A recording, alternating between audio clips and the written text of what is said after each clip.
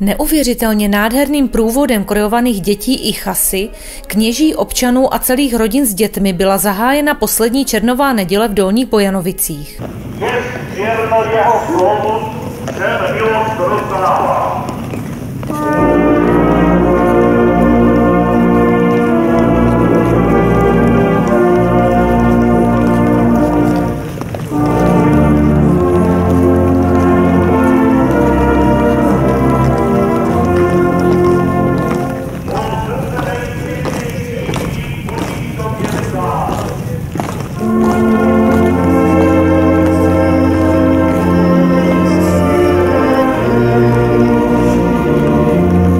Dnešní dopoledne je vlastně ta fyzická eh, oslava nejsvětějšího srdce páně. Svátek bývá eh, v pátek, ale slavíme ho až v nedělu, protože je na to víc čas a tak to bylo od nepaměti. Tento svátek se slaví v Bojanovicích před, eh, byl zaveden před první světovou válkou.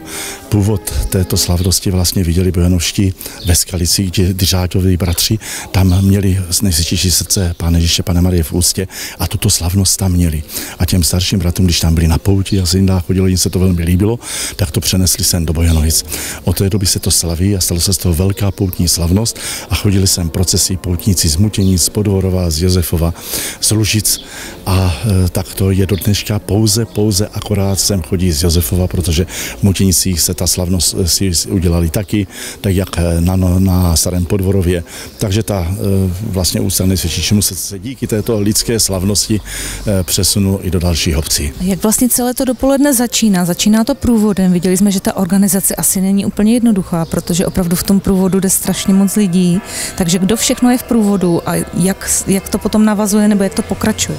Božské srdce je první průvod. První uctíme průvodem eh, nejsvětější srdce a je to průvod, který je jsou zastoupený hlavně, hlavně, kdy jsou neseny nástroje umučení, protože nejsvětější srdce bylo probodnuto z té rány, jak se zpíváme příští krev a proto se nesou ty nástroje umučení na upomínku toho, čím ten Ježíš vlastně fyzicky byl zraněný. A to je taková výjimečnost všech průvodů, že se nesou nástroje umučení, že se vlastně tyto nástroje, eh, které přinášely bolest, jakýmsi způsobem oslavují. Eh, těmto nástrojům se váže to, že ještě týden dopředu po požehnání děvčata si přijdou vylosovat, která, který eh, nástroj ponese, protože je to velký zájem, tak na ten, které se třeba nedostane.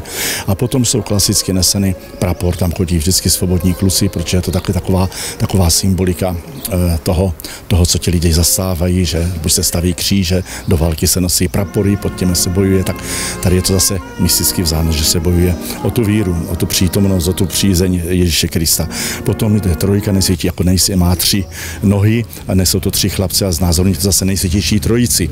A za tou, troj, za tou trojkou zase chodí svobodná děvčata, školní mládež a podobně a potom se řadí děti od prvního svatého přijímání, které si nesou korouvičky, těch bývalo čtyři, ale protože těch děcek je hodně a chtějí nosit, tak je jich osm a potom jdou rodiče s malými dětskami, které jsou nastrojeni v krojíčkách, nebo nejsou nastrojeni, ale hlavně, že jdou.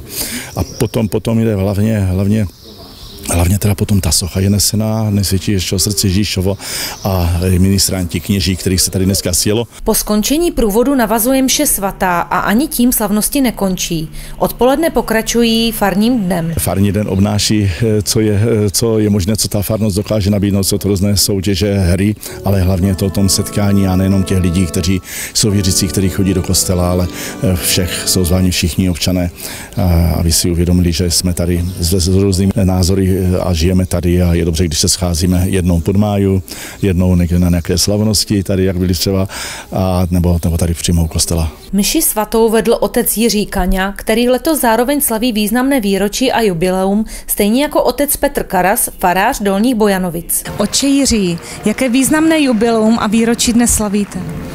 Tak eh, já slavím letos 35 let od té doby, co jsem tady měl v Banovicích první mši svatou. Z naší vesnice za posledních 100 let pochází řada kněží, z toho jeden nedávno zasnulý biskup otec Petr Esterka a já jsem, pokud se nepletu, v poslední době teďka vlastně tím v úzovkách služby nejstarším. Takže jsem tady sešel s těma službami mladšíma, být věkově staršíma, i když já jsem třeba mladší, věkově, než oni jsou starší, tak slavím 35 let kněžství a 60 života, když pán Budá. Jak byste zhodnotil vaše působení v Dolní Bojanovicích? Já jsem tady vyrůstal teoreticky do 18 let a pak už jsem vlastně se dělal do světa a odkud se sem vracím víceméně jenom tak příležitostně a třeba dneska. Otče Petře, jaké výročí dnes slavíte? Dnes přímo ne, ale za dva dny budu slavit 25. výročí od svého vysvěcení na kněze. Jak byste zhodnotil vaše působení v Dolních Bojanovicích?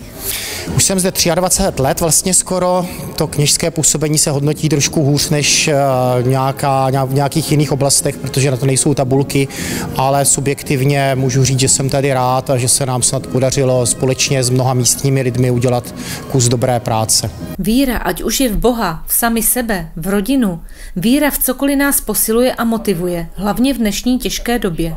Motivuje nejen k výkonu a životu, ale také k toleranci, pochopení i jiných názorů. Co byste vzkázal všem lidem dobré vůle? Ať jsou k sobě citlivější, ať si víc všímají, tolerují jeden druhého. Aby si tu dobrou vůli uchovali po celý život. Aby byli i nadále dobré vůle a aby se snažili dělat každý na tom svém místě to dobré, co dělat může. A abychom se každý z nás snažili eh, o vlastní duchovní lidský růst.